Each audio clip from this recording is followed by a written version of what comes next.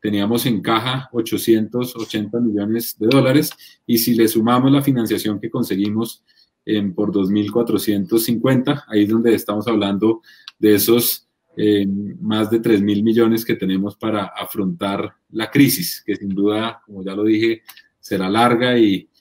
en, en reconstruir la compañía, en redefinirla, en redefinir la estrategia de hacia dónde vamos, Em, cuál, cuáles son los cambios que, que, se van a vivir desde el lado del consumidor, que sin duda vendrán muchos, em, y, en ese, y en ese sentido preparar la compañía para, para los años que vengan hacia adelante, donde tendremos obviamente que buscar cómo recuperar la rentabilidad, que es, que es lo más importante en este. Y, y, las compañías sin duda tenemos el reto, como decía al principio, de reducir los costos em, y, de, y, de, traducir o, transferir esa reducción de costos eh, hacia el consumidor eh, lo máximo posible. Y, como siempre en estos escenarios de, demasiada oferta, pues los precios van a tender eh, y, operador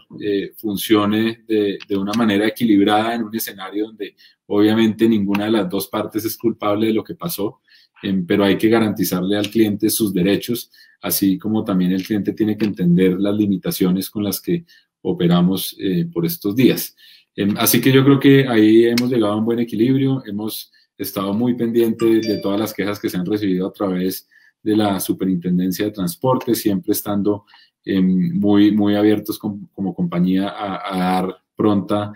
em, pero todavía no llegamos al punto de equilibrio. El punto de equilibrio hoy estará alrededor de un 75 o casi 80% del, de, la, de la operación, pero, pero trabajando muy fuerte para lograrlo precisar un poquito el, el, comentario durante el mes de septiembre y el mes de octubre eh, de este año, que ya son meses cerrados, donde reiniciamos la operación, como les decía, a un 12% de la capacidad en septiembre, a un 20% de la capacidad en octubre. Nosotros eh, logramos sostener alrededor del 20% de participación de mercado. Em, y para los meses de noviembre y diciembre, donde esperamos hacer un crecimiento importante en nuestra oferta,